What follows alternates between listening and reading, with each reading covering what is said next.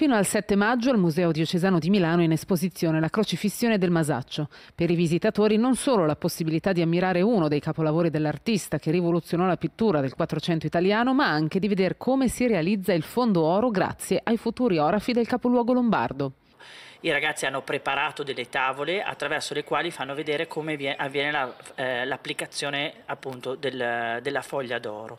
Quindi il gruppo si mette in questo laboratorio e vede quella che sarebbe stata la vera e propria eh, azienda. Dal legno alla preparazione del fondo col bolo fino alla lavorazione dell'oro.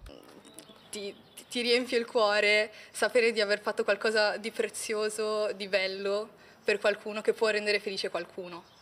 Un'iniziativa che si inserisce nel filone Imparare facendo della scuola professionale Galdus che da poco ha inaugurato un nuovo laboratorio di incassatura al microscopio dedicato agli under 25 che vede la sinergia tra scuola e impresa. È un, un lavoro in ambito artistico, quindi con una forte componente di, di, di, di valore, di interesse, di passione, però associata a un sapere tecnico può portare davvero a, a un inserimento nel mondo del lavoro anche di eh, ragazzi che magari in questo momento non vedono un proprio sbocco lavorativo fanno fatica a vedersi nel futuro. Un percorso che ha preso vita poco più di un mese fa in uno spazio dedicato.